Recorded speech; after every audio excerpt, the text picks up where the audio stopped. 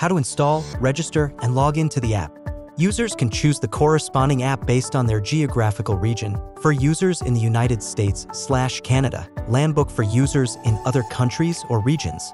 Wonderfree iOS users can search and download the respective app on the App Store. Android users can search for the corresponding app on the Google Play Store, search for Landbook in the US, Canada, and Wonderfree in other regions. Download and install it, and then open it to access the login interface.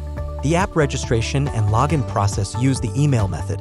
Click on Register in the upper right corner of the login interface.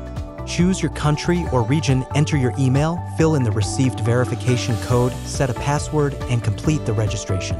After successfully registering and logging in, the app will display the device list interface. After successfully registering and logging in, the app will display the device list interface. Please note that the selected country during login should match the country selected during registration. How to connect and configure devices. During use, the app requires Bluetooth. Ensure that your phone's Bluetooth is enabled and that the app is allowed to access location information during use. Turn on the energy storage system and use a pin to press and hold the IT hole on the power panel until you hear a beep sound. At this point, the network configuration icon on the LCD screen will start blinking, indicating that the device is in network configuration mode. Simply wait for the app and the energy storage device to successfully configure. How to control your OUKITEL energy storage device through the app. First, launch the app Wonder free and enter the device list interface. Click the plus button in the top right corner and select Detect Nearby Devices.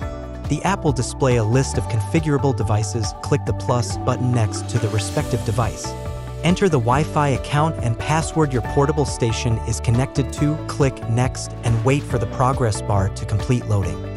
After the configuration is successful, the interface will display the product device. Select Finish. Users can also edit the device name and click Save again. Now, you can control your OUKITEL energy storage device through your mobile phone. Click on the connected device icon to access the main control panel where you will see relevant parameters in the input section. Click on Output in the main control panel to enter the Output Operation panel where you can view the current device's output power and turn the AC slash USB slash DC output on or off with the OW button. Below the Operation panel, click on Other to enter the Auxiliary Functions page where you can view and control the parameters and functions of your OUKITEL energy storage. How to share with family. After the device is successfully connected, the app supports sharing the device with other mobile users by generating a QR code. In the device list, long press the device icon and select Share to generate a QR code. Other users can scan this code to add the device. How to delete an added device. Long press the portable device icon and click Delete to remove the device.